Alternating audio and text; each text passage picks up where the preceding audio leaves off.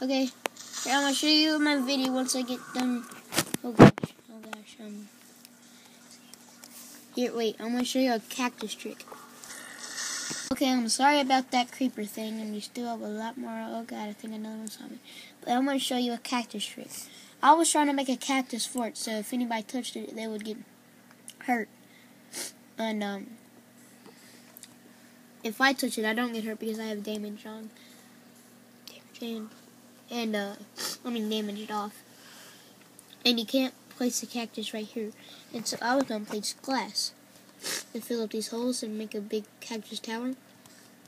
But see, see, this is what happened. See, if, if, uh, oh, great. Okay. See any cactus, you just put a thing right there and it, it'll just go. Let's see. Like, um, maybe even, I think it even works on sand. Let's see. Like, uh, sand. Let's see. Yep, see? Now see, I have lots of cactuses here.